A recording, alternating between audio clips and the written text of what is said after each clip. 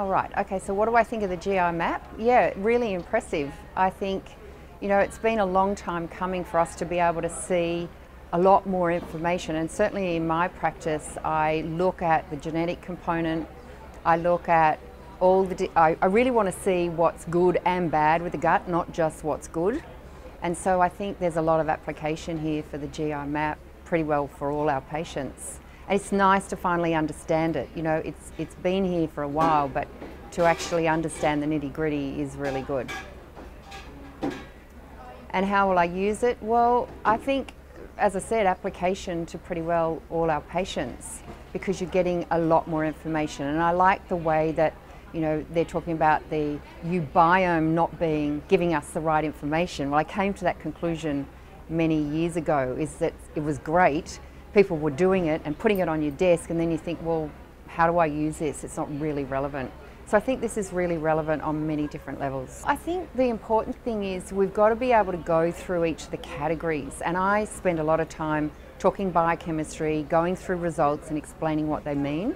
So I think there's a lot of relevance there when it comes to, I say, okay, here's your inflammatory markers, and here's the bacteria, and this is the effect that we could see perhaps from an inflammation point of view or a, uh, you know, increased cytokines or whatever. So I think if we get more information, uh, you know, with the studies around it, and how we can talk to our patients and back it up with medical science. I think that's really powerful stuff. Well, I like them. I'm a bit biased because I already use them for my um, practice, my company in the US.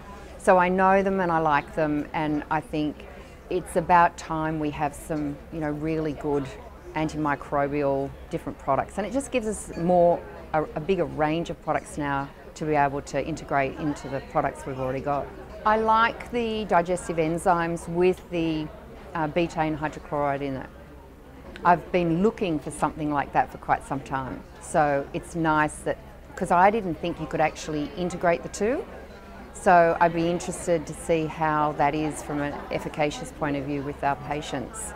Less pills is better, more compliance. Quality of the presentation is really good.